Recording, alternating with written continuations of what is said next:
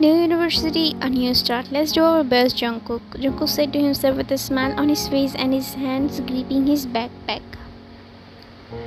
Hey, Jungkook. Jungkook looked back and found his cousin brother Jimin welcomed him with a smile. What's up, bro? All good as you can see. So, how does it feel to be in your new uni?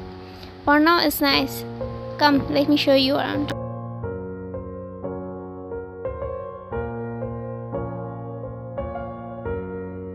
So, this is our canteen, everyone's favorite spot, but not yours for sure. Library is your place. Come on, dude, I don't study all the time. Oh, really? I'm your cousin brother, so don't lie to me with those eyes.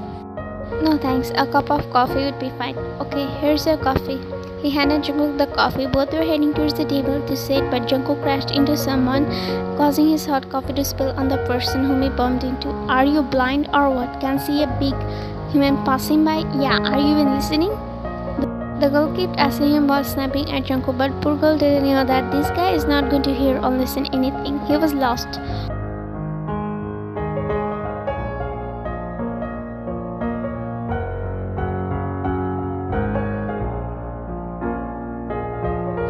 yes, of course. Yeah, Jungkook. Jungkook snapped back to reality, huh? He asked clueless of what happened.